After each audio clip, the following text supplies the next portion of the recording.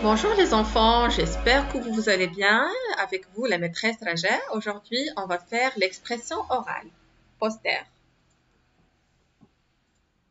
Très bien les enfants, donc j'observe l'image. Regardez les enfants, qu'est-ce que vous voyez à l'image, dans l'image? Donc, il y a Jet, il y a Edri. Qu'est-ce qu'ils font? Donc, euh, ils sont en train de discuter.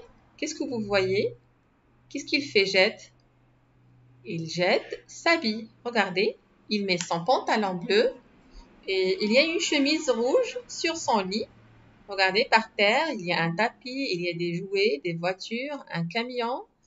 Regardez les enfants, il y a une armoire. Dedans, il y a des vêtements pliés. Il y a le bonnet en haut. Très bien les enfants, regardez, il y a les chaussettes, les chaussures de Jette par terre. Il y a son lit. Voilà les enfants.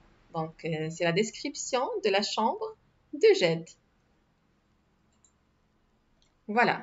Maintenant, regardez, j'observe les images et je répète. J'observe les images et je répète. Une armoire, un bonnet, une chemise, un pantalon et les chaussures. Bravo les enfants.